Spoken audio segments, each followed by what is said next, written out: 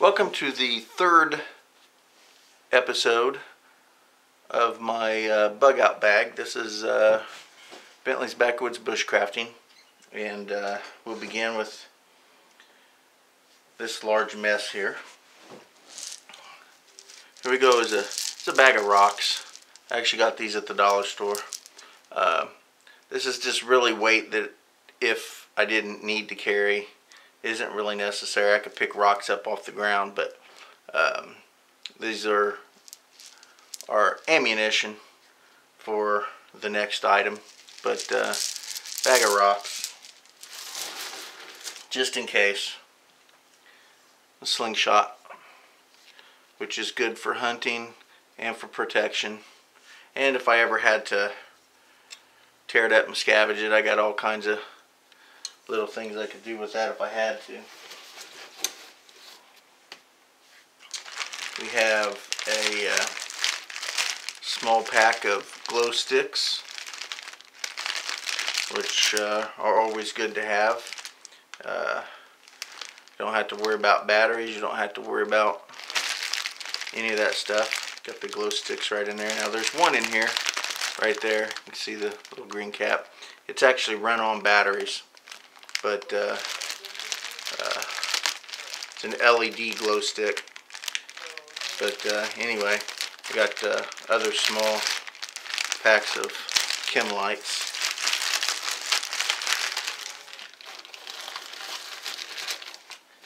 Uh, okay, we have uh, a bolo that I made out of 550 cord and golf balls which is a weapon. And believe me, you throw that and you hit your target, uh, they'll know it.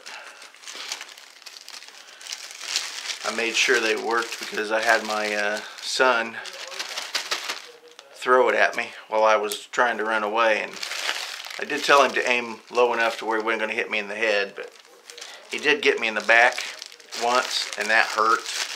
And he did actually wrap it around my legs one time too. It did uh, did slip me up a little bit.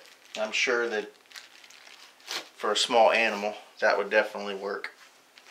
Uh, I got a a bag of baggies.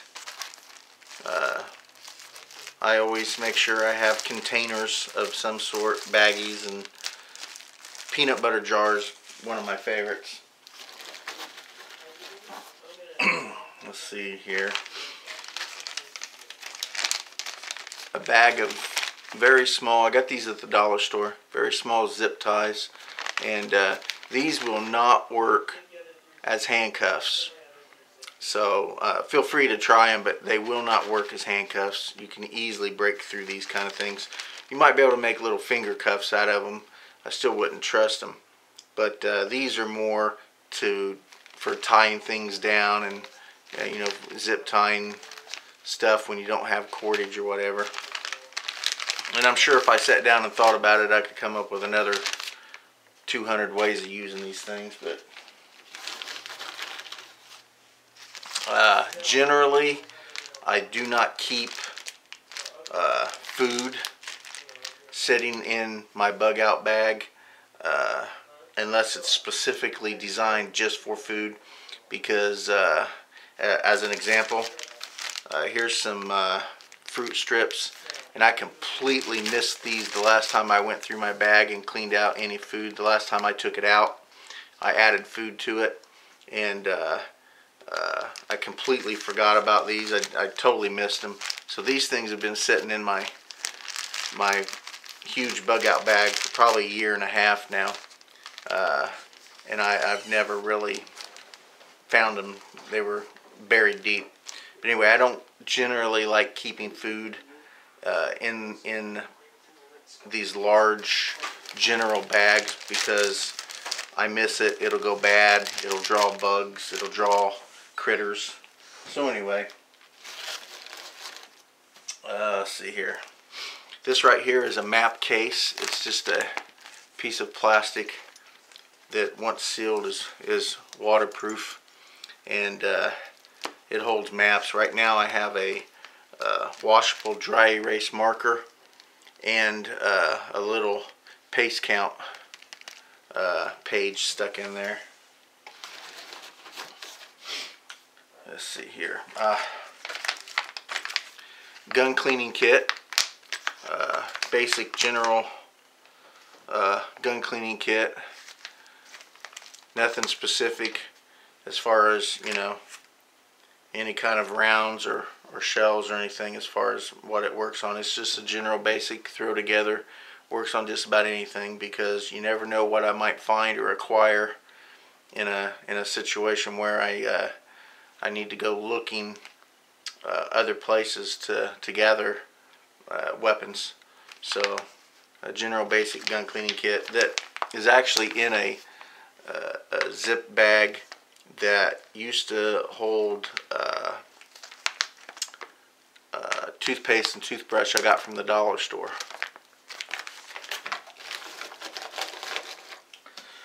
Uh, just a, an empty container. It's like a, a little Altoids type container.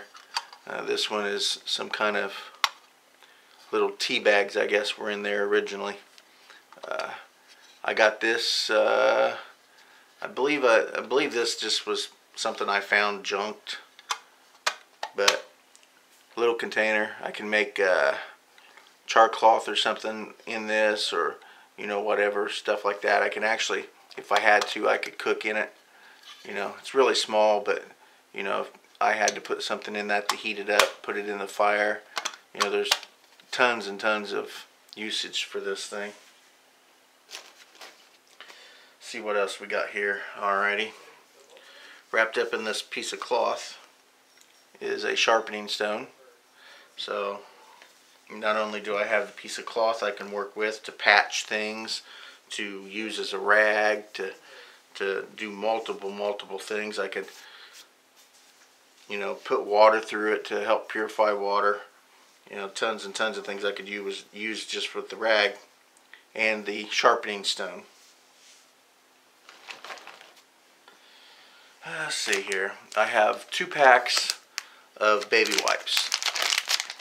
Now, uh, if anyone has ever been out in the woods for any length of time without the ability of having a bath or a shower, uh, or if you've been in the military and you're out in the field for two, three months at a time with no access to a shower or a bath. Uh, these things are gold, little baby wipes. This is a this is a hygiene hygiene uh, bath in a in a in a little bag. So.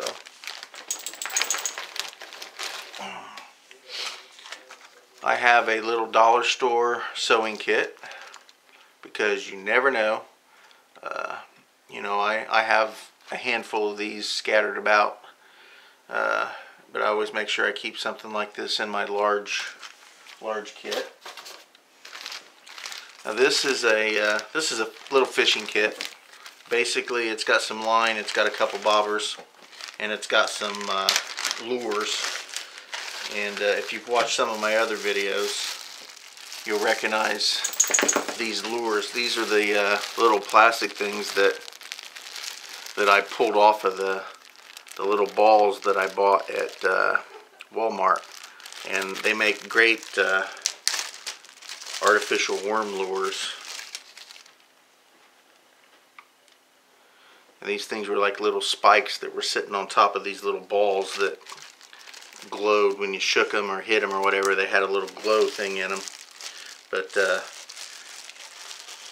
those little spikes I cut off and I've got uh, a large amount of uh, artificial worms which again I keep in many several different kits including including this one here. Uh, I have two of these uh, little uh, water filters and uh, it says it reduces chlorine taste and odor. Uh, I'm not sure how well they'll work if you were to use them out in the field. Uh, I actually got these at a junk shop uh, in a in a box of uh, a large amount of box of uh, stuff, and uh, I don't know if if they would work or if they wouldn't work. They've never been opened. I have two box uh, two packs of them, but one of these days I'm going to find out. But it's a filter straw, basically all it is. Let's see here. We have this. This had a uh, like a little level in it at one point, I think. But I got the little bag that has uh, this little kit that I got at the dollar store. By the way, it had it. It, it originally had uh, this little wire and uh, these little eyelets. Something else over here, I don't remember. I think they were little nails or something, but I took the little nails out and made this kit uh, this could be a, a, snare kit or a fishing kit uh, or anything else you can come up with too.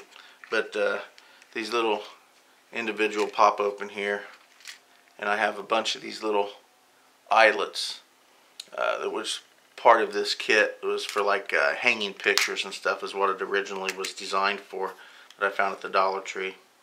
And then there's little wire here. So basically what I did was collected all the wire and the eyelets, put them together. Now this wire can be used for fishing, it can be used for snaring. These eyelets, the main purpose I have those is I can attach those to sticks and use them like eyelets for fishing pole. Um, that was the main purpose that, that I collected those. So there's a little little mini fishing kit. And I have some cordage and a couple mouse traps for trapping small little critters. Or you can use them for an alarm system at your camp.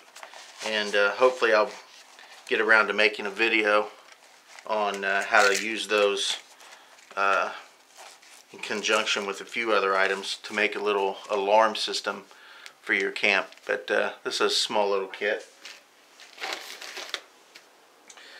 And uh, lastly, we better stop it. Lastly, I have a bunch of these uh, fishing reels, automatic fishing reels. They set up in trees and stuff, and they're something you can set up and leave. And come back later, get your fish. Like uh, fishing yo-yos. I think they're called yo-yos. But uh, I got these online. Got a pack of them thought uh, this summer when I go out, I'll set these up and see how well that helps. So anyway, we're going to stop right there and we'll continue uh, with the next episode. Thanks for watching Bentley's Backwoods Bushcrafting. Uh, please view my other videos. Uh, please subscribe and leave comment.